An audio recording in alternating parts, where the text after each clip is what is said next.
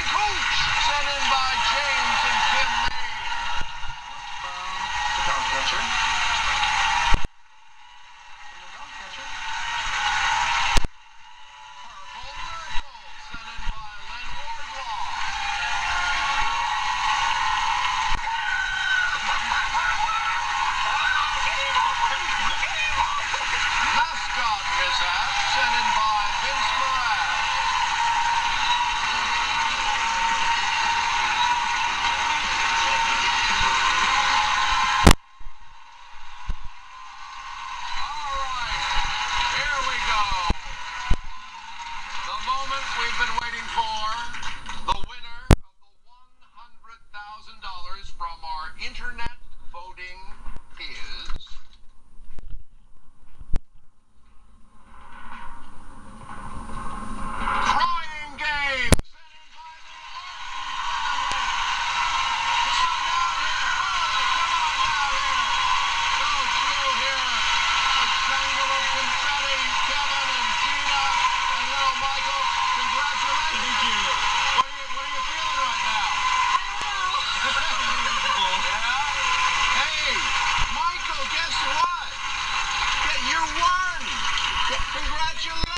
Yay! That's all right. You can afford to be as shy as you want. What are you going to spend the $100,000 on, do you know? Oh, I don't. Probably mostly him. Mostly him? Yeah.